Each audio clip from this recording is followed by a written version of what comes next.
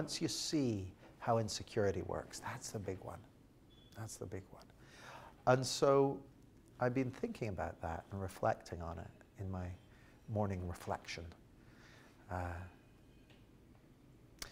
and I thought, well, let's have a look at that. What, what would that mean? And as I thought about it, I said, well, I guess it would mean the, the, the idea that our security comes from something other than thinking in the moment. So the idea that our security comes from money or from having a plan or from being certain about our understanding of something or from a relationship or from a job or from a self-image. Uh, all those are things that we could think are the source of security. Does that make sense? And so remember what we were talking about earlier, the, the thing of when you're feeling good, don't ask why? Because we have, see, as human beings, there's this great quote by Terry Pratchett, who, and I can't remember it exactly, but I'll give you a feel for it. I, I said, uh, people love stories.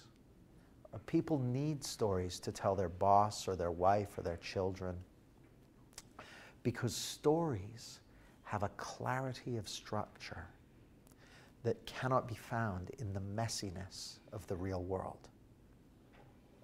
Stories have a clarity of structure that does not exist in the messiness of the real world, in the messiness of reality.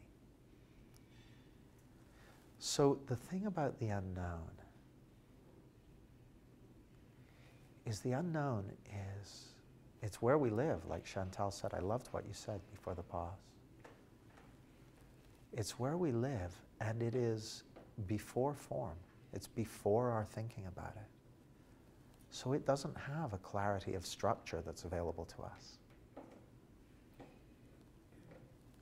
And so we tell stories about it. We make up a story like, oh, oh, I'm, I, I didn't get enough sleep last night, so I'm going to be feeling tetchy all day today. Or, oh, it's Friday.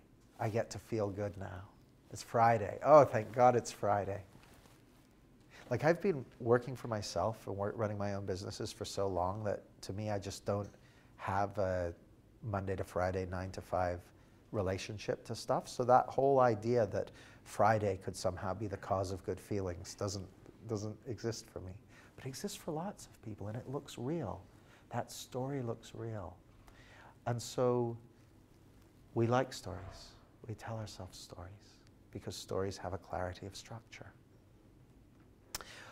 And we tell ourselves stories about security and we tell ourselves stories about insecurity. We say security comes from this, insecurity comes from that. And so I, this is what I was reflecting on. It's like the idea that security comes from something other than thinking in the moment